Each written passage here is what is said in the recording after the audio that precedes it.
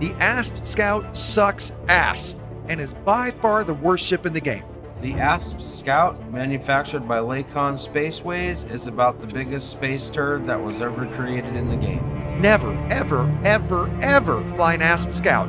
I just don't know what Lakon was thinking. It's so pointless of a ship that's funny to show up in one. Matter of fact, I'm trying to understand what in the hell the game devs were thinking. They could have just had 36 ships and this thing wouldn't even be missed at all. It's rubbish in combat. Why does it need good maneuvering? What is it maneuvering for? I don't get it.